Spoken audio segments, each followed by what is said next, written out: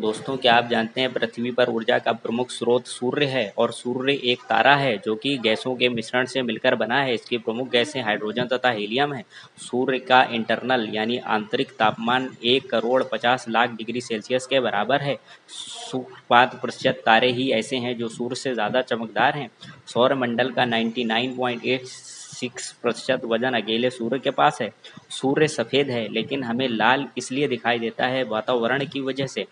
प्रति सेकंड एक खरब परमाणु बमों जितना द्रव्यमान और एनर्जी सूर्य निकाल रहा है, सूर्य के प्रकाश को पृथ्वी पर पहुँचने में आठ मिनट सत्रह सेकंड का समय लगता है। सूर्य का द्रव्यमान पचास लाख टन कम